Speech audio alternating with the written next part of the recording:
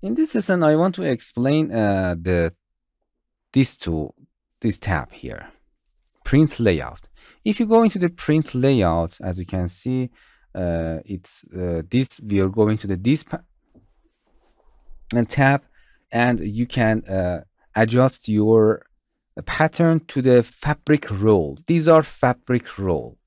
If you go into the uh, shops, and you can see the fabric low, uh, roll length and the the height is not very important. Uh, yeah you can define it as you can see.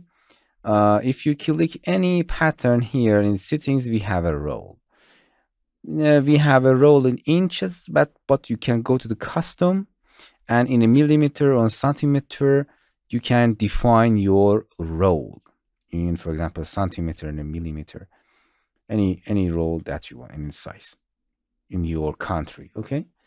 And uh, you have to uh, adjust the pattern in the uh, width. The most important thing in a roll is the width. The height is not important.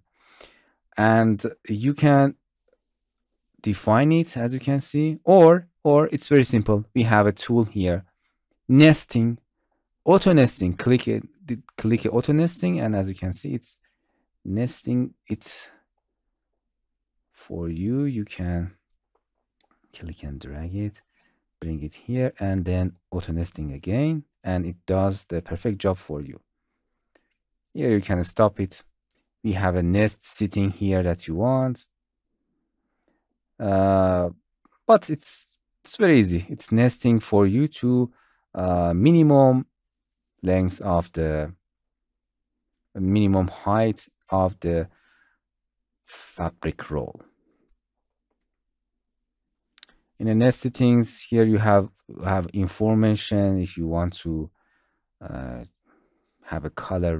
They're not important. Do it for automatic. Don't change the settings. Uh, here you can reset the default arrangement again if, if you want. But as I said before, here we have a snapshot. You can refer to the uh, previous lesson and here you can click and sometimes I think manual arrangement is better of nesting. But the unit is important. It's in a millimeter if you are going to the nesting and then a snapshot and it's ready to snapshot for you. Uh, here, as I said before, go to the custom or you can one by one. It's very important. If you want to, if you go to the file a snapshot, uh, like a previous lesson, it's doing automatically for you. But it's very important here. If you want to export exact lengths to the software, to the real world, it's if you want to print your uh, pattern and give to your students in A4 uh, paper, you can do it. The size is not important. But if you want to export it in the real world for swing industry, it's important. Change it to the one by one. It is important. One by one. Portrait, landscape, I think it's better. and it's the width and height is not important. Unit is important change it to the millimeter uh, dpi ppi or pixel per inches for resolution make it the higher number if you want to export it in a printer or plotter as i said before you can uh, refer to the previous lesson and uh, change these settings and after that save it. Okay and after that save it and it gives you exact length of uh, this file. But I suggest you do not use print layout. It's not useful.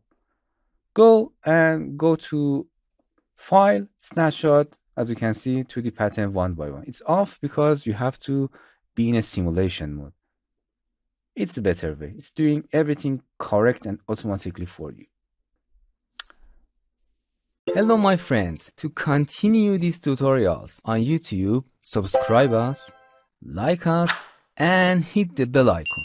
And now you will be alerted about all of the amazing videos that we release.